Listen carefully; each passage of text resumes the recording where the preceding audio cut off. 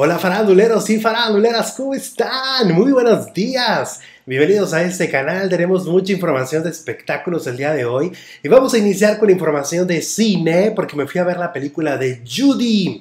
Esta película es una película biográfica, es una película que nos eh, habla de la historia de Judy Garland, una de las actrices más emblemáticas de los Estados Unidos en su historia y que muchos la recordarán por la película del Mago de Oz.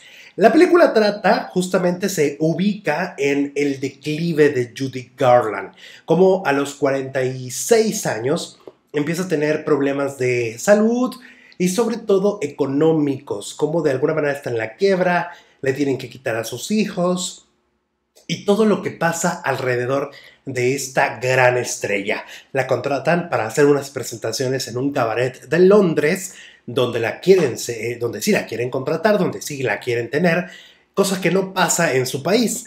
Entonces, Judy Garland eh, empieza a tener muchos conflictos con las personas con las que trabaja y muchos conflictos con ella misma. Ella tiene un conflicto muy fuerte con ella misma.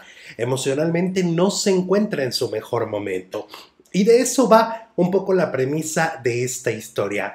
Yo creo que el gran acierto de la película de Judy, que además está nominada al Oscar, y que René eh, es la protagonista y que René es también otra de las nominadas a, la estatuilla, yo creo que de lo que llama mucho más la atención es que tienen una historia muy poderosa. Tienen una historia en sus manos poderosísima. La historia de una mujer que tiene la gloria por la industria del cine, es decir, la elevan a lo más alto, pero también la misma industria le hace muchísimo daño. Sin entrar tantos en detalles, aquí yo les estoy contando cosas muy generales para que la vean. Es una película muy conmovedora, es una película que nos estruja el corazón más de una vez. Eh, que tiene un soundtrack divino, divino. La fotografía igual no, no me fascina y no me vuelve loco, pero es lo de menos, porque el soundtrack y la historia y las actuaciones están brutales. La protagonista está genial, hizo una super creación de Judy y yo creo que les recomiendo este fin de semana, si van al cine, vean la película de Judy, Judy Garland. En noticias del espectáculo hay una noticia pues muy desagradable que se ha generado estas últimas horas y se trata de Daniel Río Lobos. Daniel Río Lobos es un ex académico que estuvo en la Academia Bicentenario, que muchos también ubicarán porque al inicio de su carrera lo fotografiaron al lado de Juan Gabriel y se hablaba de que tenían una relación sentimental aun cuando era un menor de edad. Bueno, Daniel después eh, está en la academia, logra eh, llegar creo que creo que a la semifinal, creo, no estoy seguro si llegó a la final.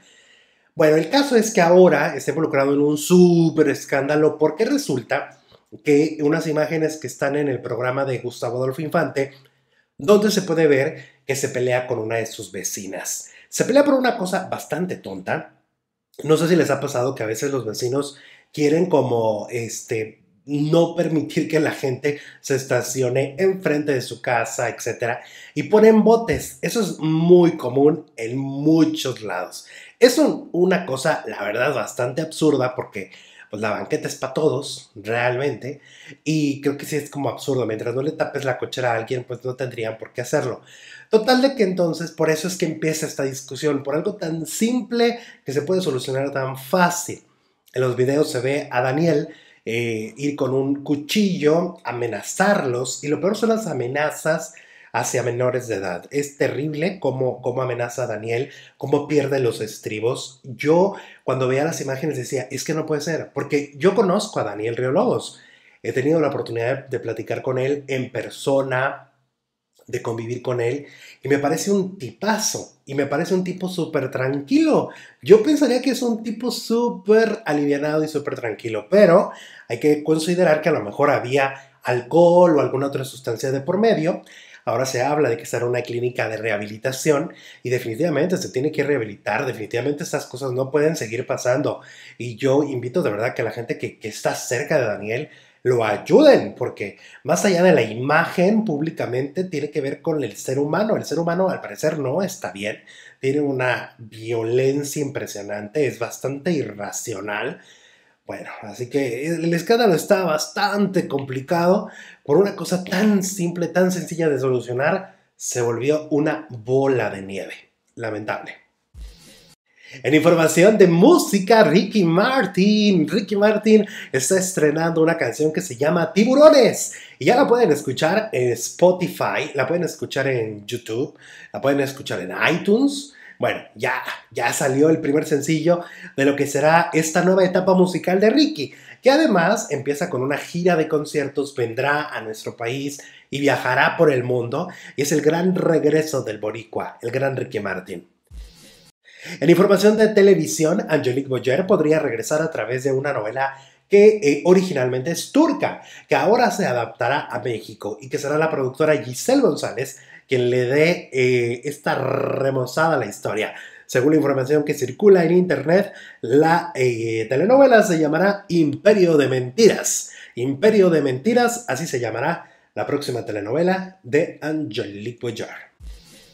En noticias de influencers o youtubers, el escorpión dorado está muy contento ya que está realizando un programa de televisión que también va a estar a través de esta plataforma em, en Estados Unidos. Sí, parece ser que ya quiere radicar más en Los Ángeles y su primer programa va a estar eh, Omar Chaparro, va a estar Wherever Tomorrow y bueno, pues el escorpión dorado que es uno de los personajes como más llamativos del internet que es muy irreverente. De hecho, mucha gente se está empezando a quejar de que sus videos más recientes son en Estados Unidos y que el escorpión está un poco más light, mucho más ligerito, porque pues en Estados Unidos te puedes meter en serios problemas de demandas y cosas así.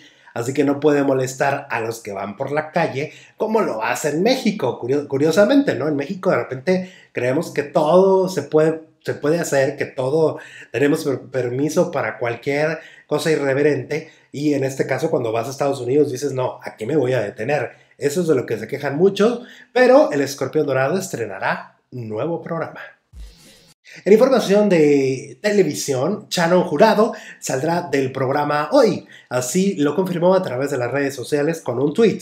Sí me voy de hoy. El 31 de enero de 2020 es mi último día. Estoy emocionado por los nuevos retos que se vienen. Siempre he luchado por lograr mis sueños. Estoy feliz por dejar llegar nuevos aprendizajes en mi carrera como comunicador. Me voy en excelentes términos con Magda y Andrea Rodríguez, a quienes les agradezco todo el apoyo que me han dado durante estos casi dos años. Y como dicen, lo que viene conviene. Es lo que publicó Chano, que bueno, por supuesto que se le va a extrañar en el programa. Hoy se habla de que sí no se fue en, grandes términos con Magda Rodríguez. Él tiene que ser muy diplomático, lo cual es correcto, pero sí se habla de que tuvo problemas serios con esta productora que parece ser está teniendo problemas con bastantes personas. Así que Magda, Magda, ubícate, ubícate. En información de teatro, este próximo 14 de febrero se estrena en Ciudad de México la obra La Reposición de Fiebre de Sábado por la Noche, una puesta en escena protagonizada en su momento por John Travolta y que fue una película. Pues ahora es una obra de teatro que en México veremos como protagonistas a Raúl Coronado y también a la gran Irán Castillo. Esta semana eh, corrieron a uno de los maestros de la academia, Jorge Romano. Él habló a través de redes sociales y dijo que está inconforme con su salida y que no lo dejara despedirse. Creo que no está padre después de haber entregado tanto en un proyecto que no me dieran la oportunidad de hablar con ellos. Este año se enfocaron más en el show que en el canto. Totalmente de acuerdo, Mari. ¿Por qué me fui? Hay muchas cosas que se pueden decir y hay muchas cosas que no se pueden decir. Primero que nada, yo no me quiero meter en ningún problema porque yo firmé un contrato de confidencialidad. En ese contrato me encuentro completamente de las manos de decir cualquier otra cosa. Pero lo que sí les quiero decir es que ustedes son muy inteligentes y ustedes pueden ver muchas cosas de las que pasan. Muchas cosas y se puede ver cómo yo soy una persona bien honesta, bien directa y que creo que en un proyecto como ese lo que se necesita es honestidad en muchos de los sentidos. Les quiero decir y platicándoles todo mi background, yo he tenido muchos maestros en mi vida. Puedo decir que más de 100 maestros que se dedican a la música. Y cerrar este círculo, porque quiero decirles que el día de hoy yo cierro el círculo de la academia. El día de hoy será mi último post relacionado a la academia y espero contar con todos ustedes, mis niños. Me dicen, ¿por qué se salió, profe? Creo que ya lo dije. ¿Está comprado el show? Me preguntan. Eh, me dice Franceli Fans, lo vamos a extrañar mucho. Yo también Hasta aquí la información breve del mundo del espectáculo. Como siempre, muchísimas gracias por estar conmigo. Te mando un abrazo gigantesco. De verdad, te invito a suscribirte a este canal. Nos vemos mañana domingo. Pasa extraordinario día. Hasta mañana. Gracias. Pero hey, no, no, no, no te desconectes. A continuación puedes ver dos de nuestros videos. Aquí en la pantalla te los vamos a dejar para que tú le des clic y simplemente vayas y veas mucho más contenido. Recuerda que este es el canal de información familiar de espectáculos de YouTube. Hasta la próxima.